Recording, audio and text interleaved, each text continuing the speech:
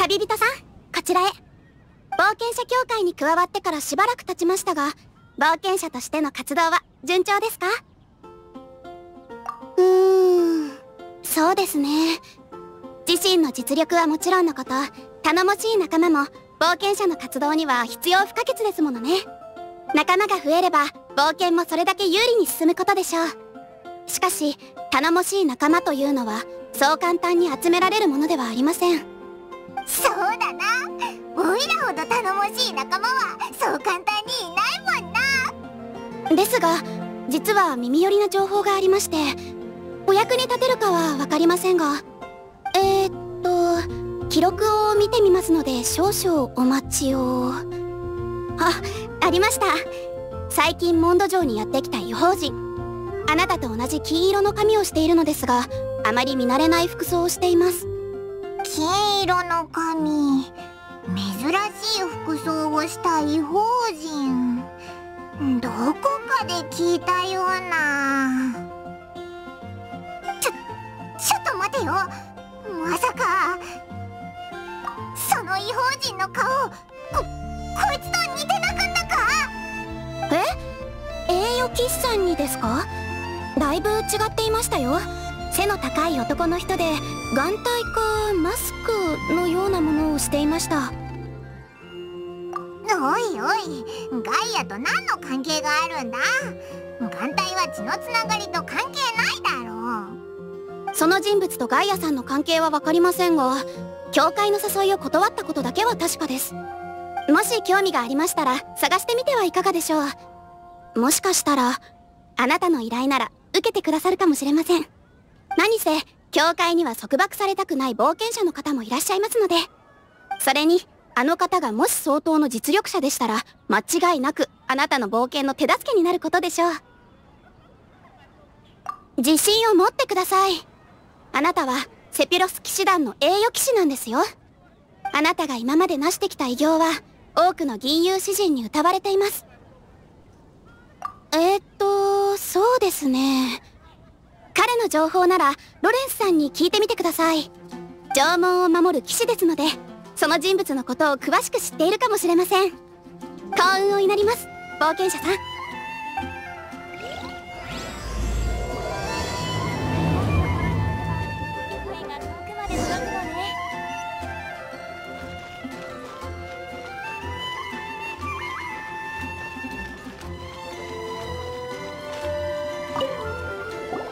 おや栄誉騎士。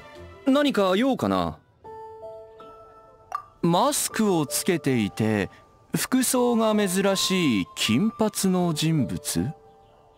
ああ印象的だったから覚えてるよ。最初モンド城の外をうろうろしてたんだ。見た目が怪しかったから目を離さずに監視してたよ。でもすぐに見失ってしまってね。まああまり事件性も感じなかったから偵察基地には連絡せずにいたんだ。見た目が怪しいだけの人物にこのモンドが危機にさらされることはないだろうからさ。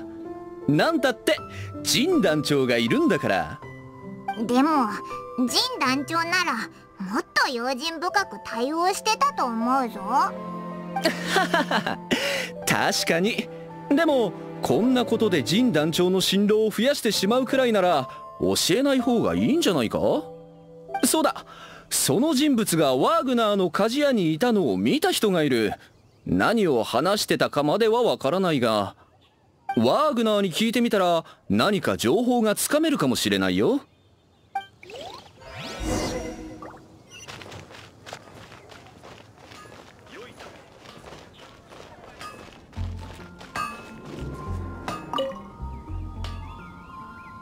なんだ？何か用か？確か鍛造に使う材料を買うために何日か前にここへ来たな。だがあいつが言った材料は俺の知らないものばかりだった。店にある剣を少し見た後すぐに行っちまったよ。あああとエンジェルズシェアでよく酒を飲むとか聞いたな。あいつの行方が知りたいならそこに行くのが一番可能性が高いと思うぜ。エン旦那もその人物のことを知ってるかもしれないな。よしとりあえずエンジェルズシェアに行ってみよう。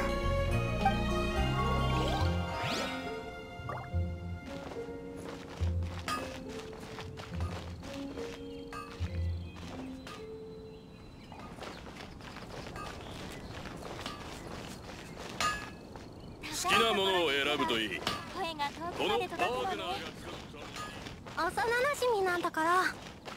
タンポポ？タンポポだってもちろん立派なお花よ。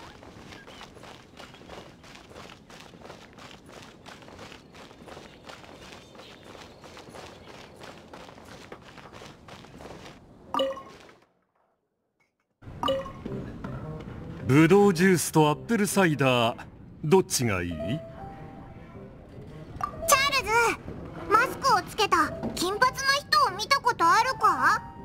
ああその人物なら知ってるぞ。毎晩ここに来て酒を飲んでる。しかも注文した酒を自分でブレンドしたりしてな。詳しいことは知らないが酒の選び方や手際の良さから相当品位のある人だというのはわかる。じゃあデルックの旦那は何か言ってたか？そのお酒から品位があると見抜いたのはまさにディルック様の考えなのささどうやらもう目をつけてたみたいだな。あの方に用があるのならここで待つといい。ちょうど昨日酒を予約していったから今日も来るはずだ。1階は客も多くてうるさいだろう。待つなら2階にしておくといい。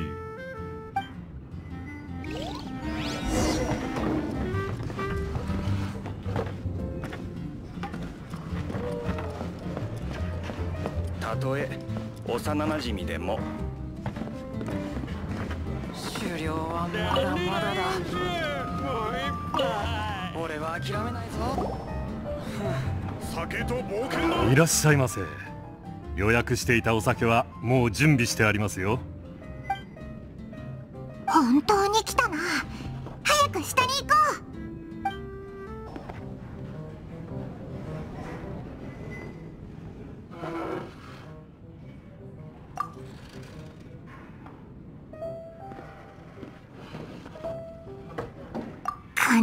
に無視している旅人。旅の目的は。悪くない理由だ。向かいに座るがいい。ここれって成功したのか？不思議な人だな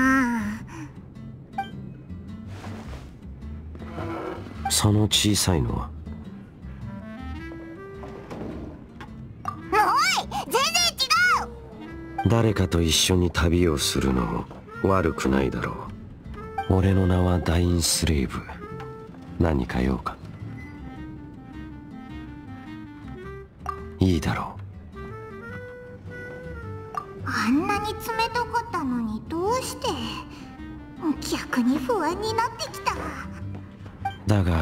報酬は事前に払ってもらお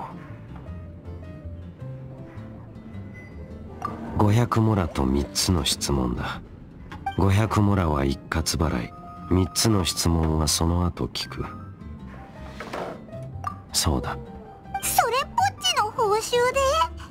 ますます不安になってきたぞ。何か裏が。確かに受け取った。では3つの質問に答えてもらおう。質問の回答に間違いなど存在しない。あるのは態度の違いだけだ。貴様の選択が知りたい。好きに答えるがいい。一つ目の質問だ。モンド城の流祭は貴様とウェンティと名乗る風神が解決した。では流祭を終わらせた鍵は誰だと思う？俺は知るべきことを知っている。質問に答えてもらおう。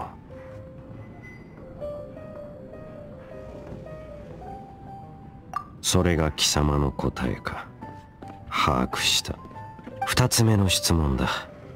リーウェコを幾千年も守ってきたガンオーテイ君は自身の神の心を用いて全ての契約を終わりにする契約を交わした。では神を失った今後のリーウェコは誰が守る？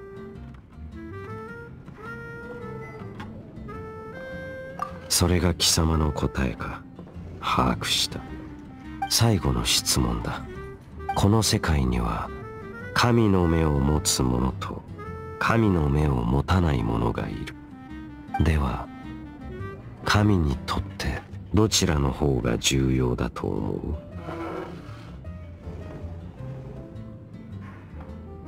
それが貴様の答えか。把握した。やはり貴様は彼と似ている。500モラは確かに受け取った。貴様がこの世界に対する認識も少しだけだが把握した。では約束通り依頼内容を言うがいい。と言ってもアビス教団に関する依頼しか引き受けないがな。俺は貴様と同じく旅をしている。貴様は家族のため。そして俺はアビスと戦うためだ。ああ。アビスに仕えるあれらの怪物はアビス教団がこの世界に振りまいた混乱の種だ。俺はアビスの使徒の痕跡を追ってモンドに来た。アビスの使徒？アビスの魔術師の統率者でありアビスで特に歪んだ怪物の一種。ああそうだったな。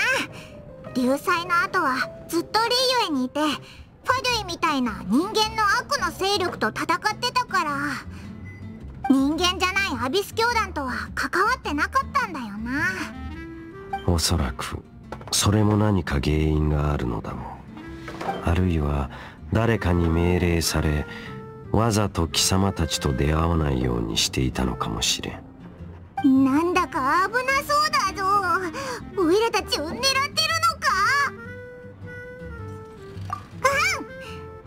強いもんな。まったく彼と同じ気迫だ。それなら俺たちも早速現地に行こう。俺が仕入れた情報によればアビス教団は再びセピロスの神殿に潜伏しているようだ。そこで落ち合おう。貴様のアビスに対する疑惑。そこでなら答えが出るかもしれん。人のいないこの神殿だがアビスの痕跡が確かに残っている。セピュロス風を操り空を飛ぶ。それは同時に神々の光による支配を意味する。何でもない。中に入ろう。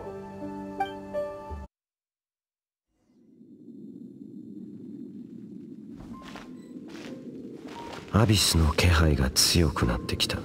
もうそう遠くはアビスの使徒どんなやつだろう。アビスの魔術師と同じ感じなのかな。先に進もう。あの怪物を見つけたら説明する必要もなくなる。天理チョークいざ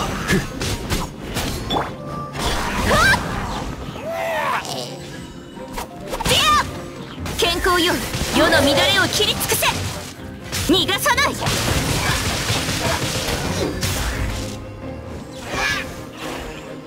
陣営のごとくえ？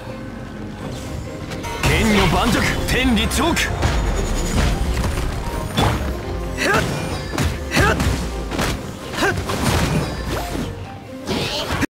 瞬く間にえ？っ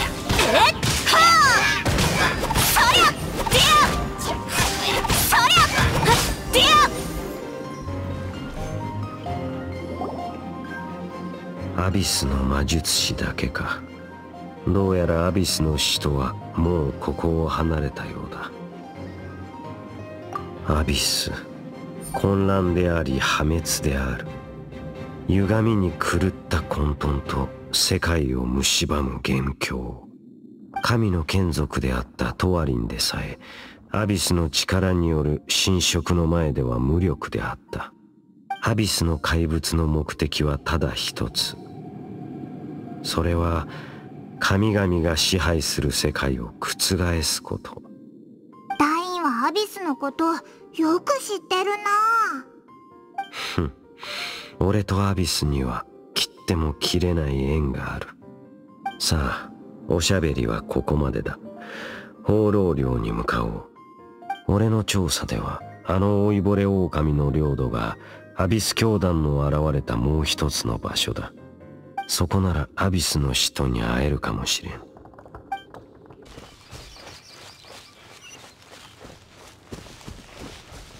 う放浪寮に入ったな。ダイン持ってるかな。狼の群れに好かれなそうだから早く行って落ち合おう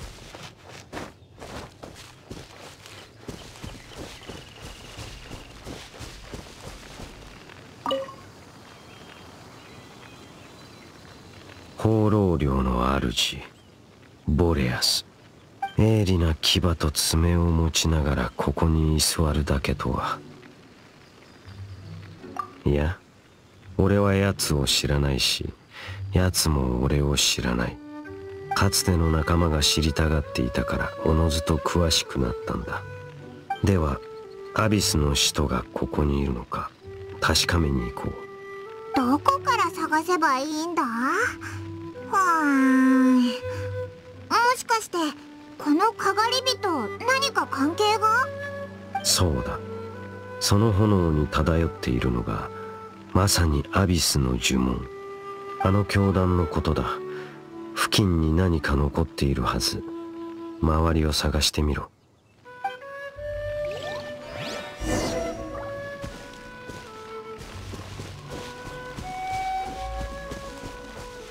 かがり火の近くの魔物アビス教団に操られてるのか？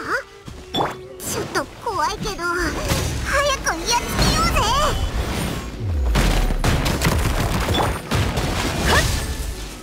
我が剣よ影に従え！ディアふわ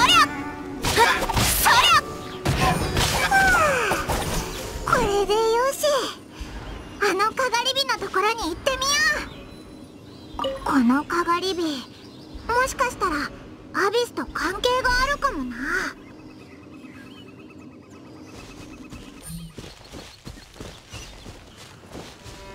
またあの呪文が漂ってるかがり火だ。どうやらアビスは本当にここに来ていたようだな。うわあの魔物たちどこからやってきたんだ？ええ早くやっ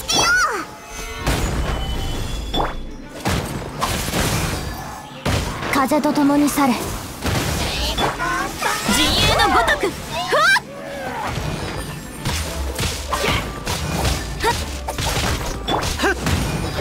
わっ。難攻不落。天道ここにあり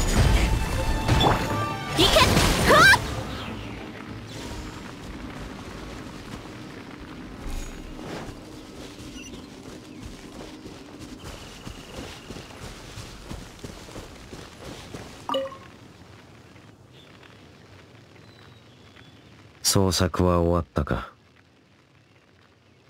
俺もここら一帯で痕跡を少し見つけた。しかしそれは全てアビスの魔術師が残したもの。アビスの深いところにはまだ達していない。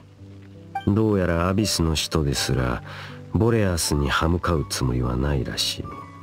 ここを離れよう。あの老いぼれ狼が唯一誇れるものはこの領地に対する信念だけだからな。うー手がかりが途絶えたな。諦めるか？いや最後にもう一つ行く場所がある。風流廃墟で待っている。流祭で起きた出来事は知っている。貴様たちがここを訪れた時にはとうに風流廃墟と呼ばれるようになっていた。この地名も風流より廃墟の方がしっくりくる。俺の記憶ではこの廃墟とあの竜はほとんど関係がなかった。俺が初めて旧モンドの廃墟を見た時トアリンはまだ落ちていなかった。無論こんな場所に来るゆえんもなかった。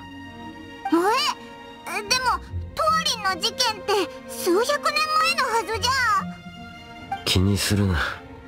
この廃墟に封印されていた同行装置に覚えはあるか？アビス教団がこの廃墟にいるのならその装置に目をつけるだろう。同行装置があった場所に行って確かめてみろ。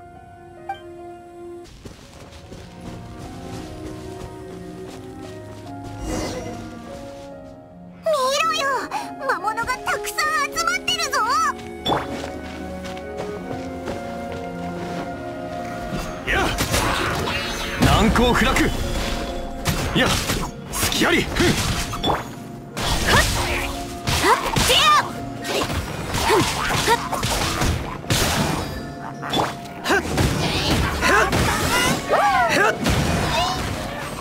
判決を下す。瞬く間に。え？天理チョーク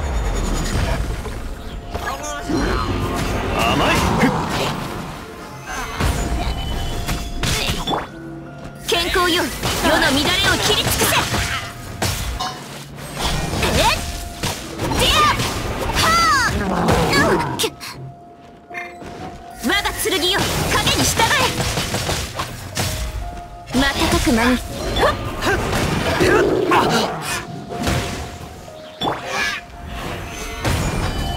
天道ここにあり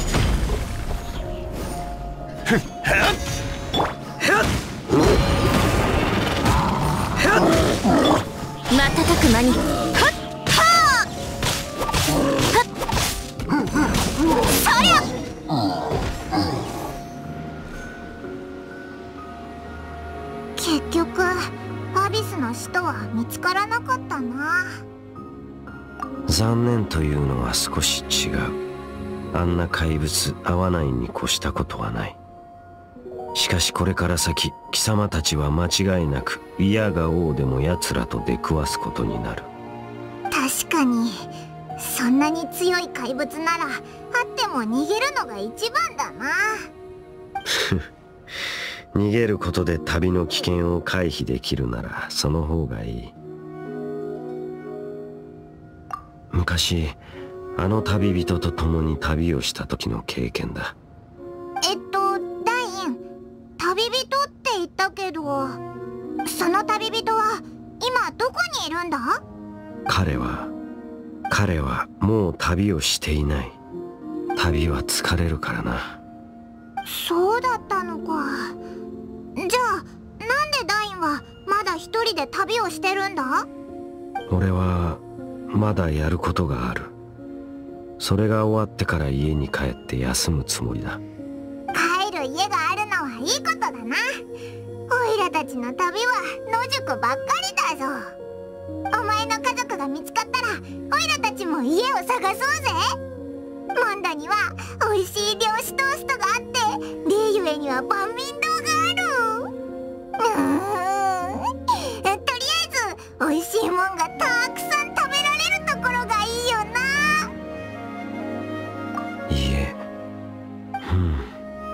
旅の終点に到達してから後のことは考えるがいい。旅の途中はまず。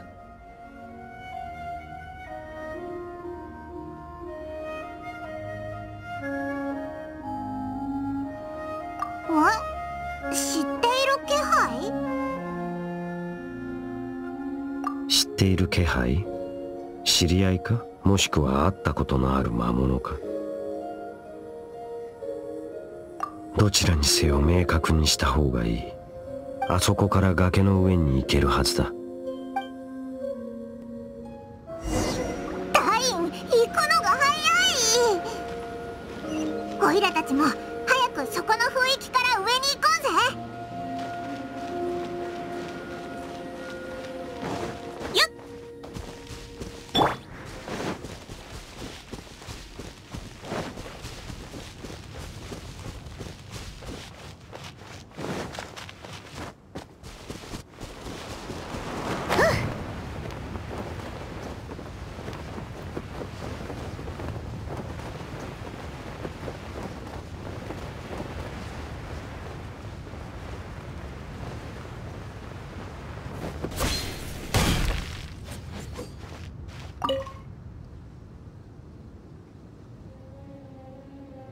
様が言っていた気配まだ感じ取れるか？でもここは人も魔物もいないぞ。確かに何の異常もない。俺が以前来た時と何も変わっていない。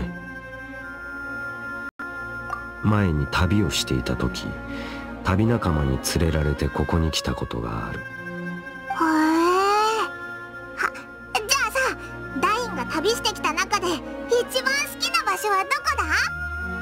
か？俺は覚えていない。あの旅ではただその旅仲間の付き添いをしていただけだからな。うん？遺跡守衛の足跡。ここにも遺跡守衛がうろついているのか？タンポポですら安らぎを得られぬとは。